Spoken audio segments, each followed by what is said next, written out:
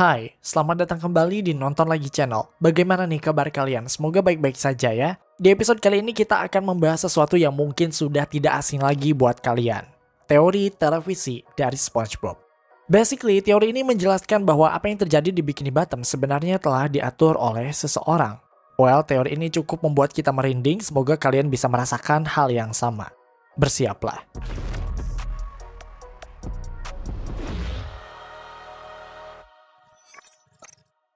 Guys, kalian familiar gak sih dengan reality show kayak Termehek-Mehek, Bikin Mewek, Rumah Uya, dan sebagainya?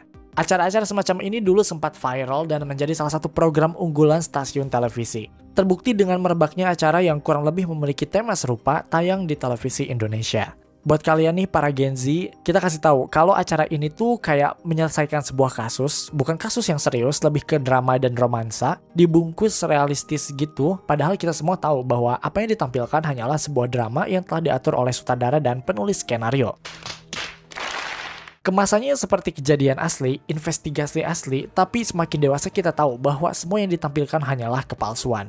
Walaupun begitu, acara reality show semacam ini selalu mendapat tempat di hati penonton jujur gue dulu juga suka nonton termehek-mehek apalagi kalau udah ada berhubungan dengan mistis-mistisan itu serem banget cuy Nah, apa yang ada di pikiran kalian jika kalian mendengar bahwa sebenarnya acara kesayangan kita yaitu SpongeBob SquarePants adalah acara yang tidak jauh berbeda dengan termehek-mehek. What? Literally, semua yang terjadi di sana di Bikini Bottom telah diatur oleh seseorang ada sutradara dan penulis skenario dalam universe itu yang mengharuskan SpongeBob jadi koki, Plankton harus selalu kalah, Squidward punya keinginan bunuh diri, dan masih banyak lagi. SpongeBob SquarePants sebenarnya adalah sebuah reality show yang telah diatur sedemikian rupa. Well, kita tidak membicarakan tentang Stephen Hillenburg atau orang-orang kreatif dalam serial ini. Mereka memang ada di dunia nyata di universe kita. Kita membicarakan orang-orang atau karakter kreatif yang ada dalam universe SpongeBob. Paham kan? Kalian harus bedain itu dulu, biar ke depannya bisa paham. Nah, walaupun begitu, keduanya nanti akan saling berhubungan. Mari kita mulai teorinya dengan opening episode paling pertama dari serial ini, Help Wanted.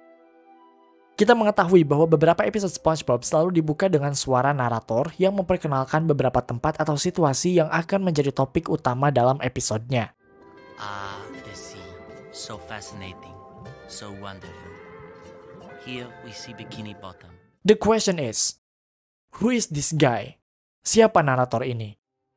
Kita tidak pernah melihat dia itu ikan atau manusia atau sebenarnya kita pernah melihatnya. Kenapa narator ini penting untuk diketahui? Karena ini berpengaruh pada teorinya. Narator ini udah kayak narator di acara reality show, makanya kita perlu tahu apakah dia bagian dari universe SpongeBob atau bukan.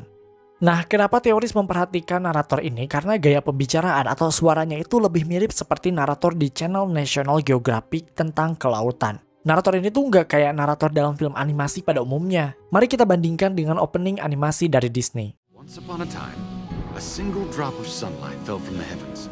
And from Bandingkan dengan opening SpongeBob yang lebih mirip seperti nature documentary atau film dokumenter alam seperti berikut ini.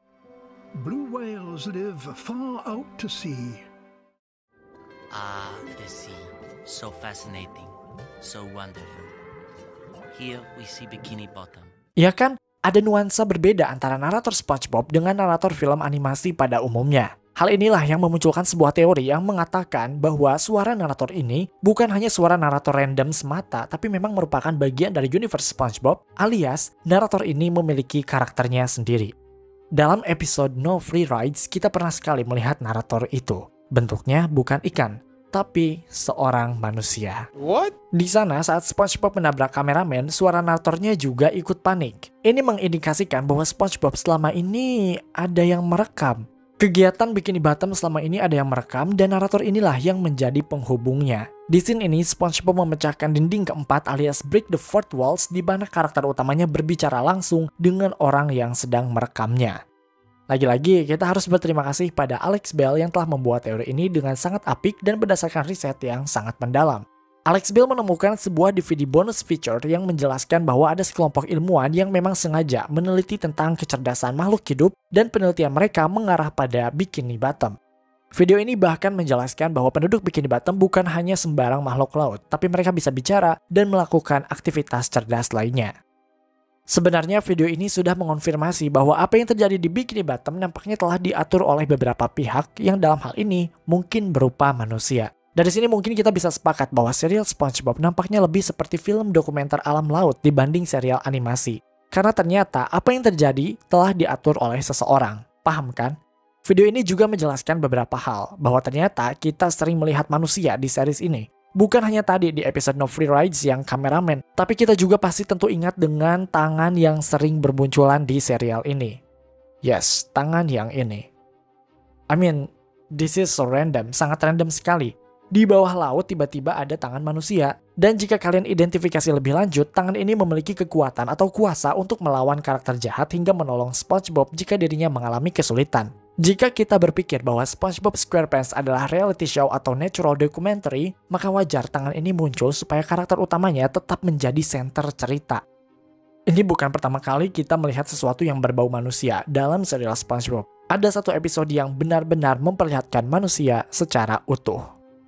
Season 3 episode 16, I Had an Accident, menjadi salah satu episode paling terkenal dalam serial SpongeBob. Bukan hanya karena ceritanya yang lucu, tapi juga episode ini memiliki ending yang sangat absurd. Sandy dan Patrick menyadari bahwa ada gorila sungguhan datang menyerang mereka berdua dan episode ini ditutup dengan manusia yang sedang menonton dan terlihat kebingungan. Well, penonton itu sebenarnya mewakili kita semua juga, karena kita juga bingung apa sih maksud dari ending episode ini. Kenapa tiba-tiba ada gorila asli, ada kuda segala gitu kan, aneh. Alex Bell akhirnya bisa membuat sebuah penjelasan yang sangat logis. Oke, dalam ending episode ini, SpongeBob sempat bertanya, untuk apa gorila ada di bawah laut? Dan seketika gorila itu langsung kabur. Pertama, itu bukanlah gorila asli. Karakter hewan darat yang ada di Bikini Bottom biasanya menggunakan helm, seperti Sandy dan para ilmuwan ini. Selain itu, karakternya juga berbentuk kartuni alias kartun, bukan live action seperti gorila ini. Jika itu bukan gorila asli, maka penjelasan paling masuk akal adalah bahwa gorila itu adalah manusia, sama seperti Pecci the Pirate manusia itu dihadirkan ke universe SpongeBob atau Bikini Bottom supaya ya show-nya semakin menarik dan menghibur. Kalian tahu kan reality show kayak Kardashians Family atau ya kalau di kita mah kayak Termehek-mehek atau Rumah Uya tadi. Di sana kan mereka udah menyeting siapa aja yang harus ada di dalam show-nya, siapa aja yang harus jadi pelakor, siapa aja yang harus jadi orang yang diselengkuhin, dan sebagainya. Itu digunakan supaya tayangannya lebih menarik. Nah, episode I Had an Accident ini kurang lebih seperti itu. Mungkin saja gorila itu adalah penyelam yang memakai kostum. Nah dari sini kita bisa semakin yakin bahwa apa yang terjadi di Bikini Bottom sebenarnya sudah ada yang mengatur. Sudah disetting sedemikian rupa supaya show-nya bisa menarik. Semakin menarik, semakin banyak orang yang menonton dan artinya semakin banyak pula uang dan keuntungan yang mereka dapatkan. Jika memang kehidupan di Bikini Bottom sudah ada yang mengatur, kira-kira siapa yang telah mengaturnya? siapa orang yang telah menyeting beragam kejadian yang ada di Bikini Bottom.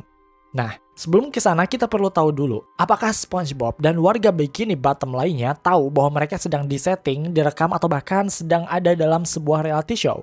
Oke, kalian pernah nonton The Truman Show gak sih? Well, film yang sangat bagus ini menceritakan tentang Truman Burbank yang menjalani kehidupan di sebuah tempat. Ia menyadari bahwa ada yang aneh dengan kehidupan yang ia jalani hingga pada akhirnya dia sadar bahwa kehidupannya tidaklah nyata. Ia menjalani kehidupan yang telah diatur oleh seseorang dan selama ini dia hanyalah aktor yang menjalani kehidupan di sebuah panggung.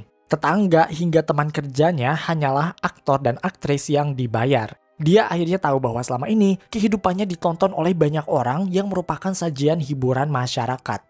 Hidupnya adalah reality show.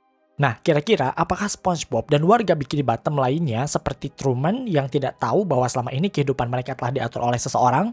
Untuk menjawab pertanyaan ini, mari kita kembali ke episode No Free Rides. Sekali lagi, dalam episode ini SpongeBob sempat menabrak seorang kameramen dan ada satu dialog yang cukup menarik. Coba kalian perhatikan. And if SpongeBob does not pass this one, it means another whole year of boarding school! Oh, what happened? Oh, nothing, SpongeBob. You just struck another pedestrian. Minus 20 more points. Mrs. Puff menyebut kameramen tersebut dengan istilah pedestrian atau pejalan kaki. Dia menyebutnya dengan istilah pejalan kaki biasa, bukan kameramen atau manusia. Kayak dia nggak kaget sama sekali gitu. Oke, kita tahu nih bahwa di Bikini Bottom terdapat beragam karakter ikan atau makhluk laut lainnya. In fact, di sana juga ada hantu dan warga Bikini Bottom tidak menganggapnya sebagai makhluk asing. Artinya, warga Bikini Bottom sadar bahwa mereka itu sangat beragam. Makanya Mrs. Puff dalam scene ini tidak terlihat kaget atau penasaran dengan sosok yang ditabrak oleh SpongeBob karena ia menganggap bahwa itu adalah ya pejalan kaki biasa, mungkin itu ikan seperti biasa cuma ukurannya lebih gede.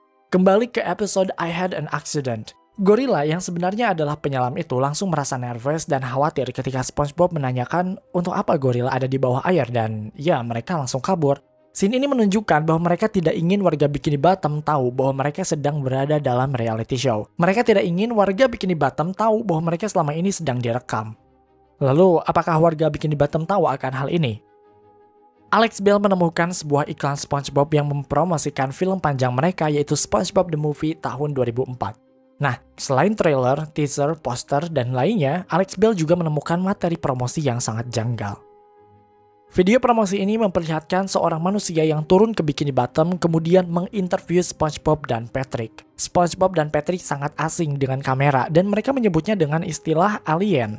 Lanjut di bagian akhir, manusia yang menginterview itu meninggalkan SpongeBob dan mengucapkan salam perpisahan. Manusia itu sempat bilang sampai ketemu dalam filmnya, kemudian SpongeBob dan Patrick tidak tahu apa itu film dan mereka melanjut berburu-ubur seolah tidak terjadi apa pun pada mereka. Dari sini sudah jelas bahwa SpongeBob, Patrick, dan sebagian besar penduduk Bikini Bottom nampaknya tidak menyadari bahwa selama ini mereka direkam, diatur, disetting sedemikian rupa. Mereka tidak tahu bahwa beragam kejadian yang terjadi di Bikini Bottom merupakan kejadian yang telah ditulis dalam sebuah skenario. Well, ya, sebagian besar. Artinya ada pihak-pihak tertentu yang sebenarnya mengetahui juga bahwa selama ini mereka sedang direkam. Ya, ada warga Bikini Bottom yang tahu akan hal ini. Kira-kira siapa ya mastermind atau karakter di balik semua ini? Jika dia memang tahu bahwa selama ini mereka sedang direkam, artinya karakter ini telah menjalin kerjasama dengan manusia atau kreator reality show ini. Kira-kira siapa ya? Kita akan cari tahu jawabannya di part 2 nanti ya. Terima kasih karena telah menonton video ini hingga akhir. Luangkan waktu untuk like, share, dan komen jika kalian suka video ini. Tekan tombol subscribe dan aktifkan notifikasi loncengnya supaya kalian tidak pernah ketinggalan video-video terbaru dari kami dan sebagai bentuk dukungan kalian terhadap berkembangnya channel ini. Mari terhubung lebih dekat dengan cara follow kami di Instagram dan TikTok di @nontolagi.channel untuk mendapatkan info dan rekomendasi film terbaik. Dan jangan lupa, Creepy Crime Case kini hadir di Spotify. Sampai jumpa di episode Nonton Lagi channel berikutnya.